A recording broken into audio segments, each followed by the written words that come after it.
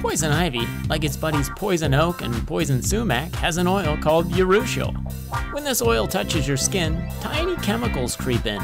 They're really small, and your body probably wouldn't think much of them, but they bind to skin proteins. An inquiring cell with octopus arms called Langerhans or antigen presenting cells, APC, grabs the protein with the poison ivy chemical because now it thinks the body is being invaded by a foreign substance. So, it needs to send a signal. The APC rushes from the skin to organs called lymph nodes to sound the alarm of a pending invasion. There they meet up with T cells who are ready to help and expand into an army that's prepared to meet a poison ivy urushiol invasion. These T cells move back to the skin to watch for urushiol. Some people, about 10 to 15%, seem to be resistant to the allergic effects of urushiol, but even these people may eventually develop the allergy.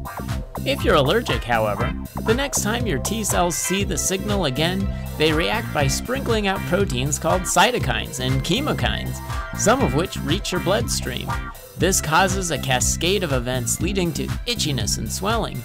They also recruit cells called phagocytes, such as neutrophils and macrophages, that eat up and remove debris, cell assassins called cytotoxic T lymphocytes and natural killer cells, and more helper and memory T cells.